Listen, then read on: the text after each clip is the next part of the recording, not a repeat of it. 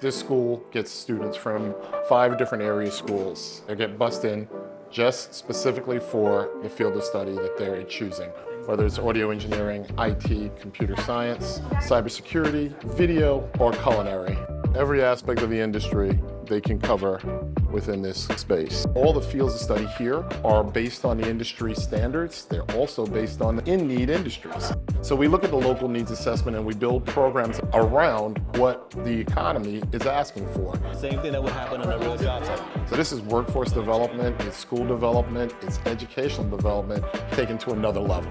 Every student will have some kind of post-secondary education whether or not it's college, whether it's a trade school, whether it's a licensure, once you connect students' passion to a career, we kind of fix that whole question about what your future is like.